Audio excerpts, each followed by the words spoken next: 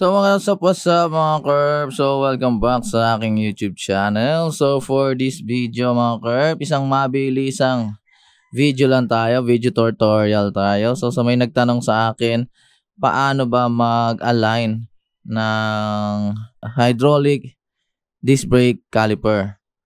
So sa video ito mga Curb, ipapakita ko sa inyo. So napakadali lang.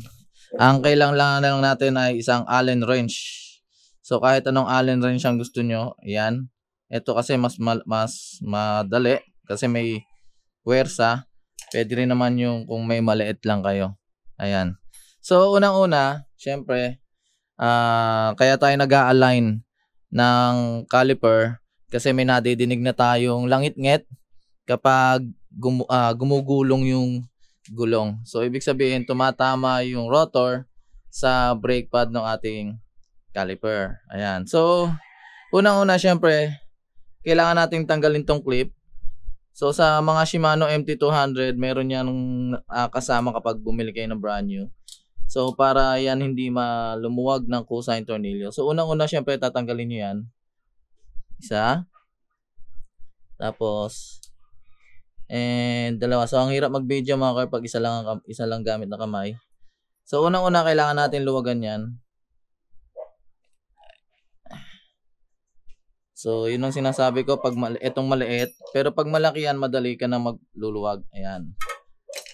So luwagan lang. Yan. So pag naluwagan mo na yan, so ayan yung mangyayari. So, ang susunod na naman gagawin, hanap ka ng kasama mo na papiga mo tong yung lever. So, pag pinaga mo yung lever na yan, so, pipiga din yung ating ah brake pad sa loob. So, yun yung magsesentro ng ating caliper. So, magsesentro yan dito. Yan. So, tawag tayo ng magpipiga. Mat! Pigay mo to. Ayan, pigay mo to, piga. Piga lang. Pigay mo. Ito to itong itong lever yan. Pigain mo lang ha. So ayan mga kerp.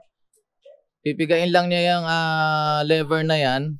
So para ah, magsara yung brake pad ng ating caliper. So pag may nakapiga na, saka natin yan ihigpitan. Yan. So higpitan nyo lang ng paunti-unti. Yan. Half turn hang half turn lang. Sa hanggang sa sumikip. Ayan. So, pag medyo masikip na, ayan. So, pantay lang natin yung sikip.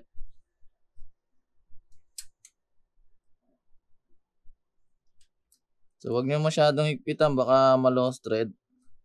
So, balik nyo na yung clip. Ayan. So, ganun lang mga kaka-carp kadali. Mag align ng ating caliper.